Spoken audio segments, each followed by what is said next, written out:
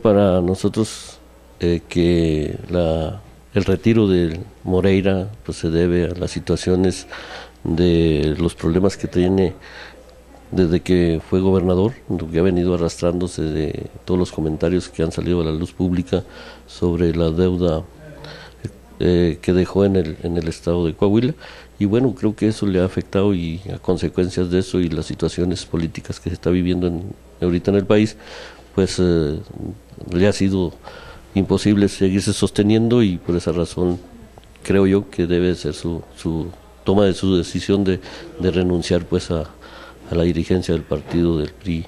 eh, a nivel nacional. Creo que deben de ser algunas estrategias que el mismo partido esté manejando y los candidatos que ahorita en su momento pues están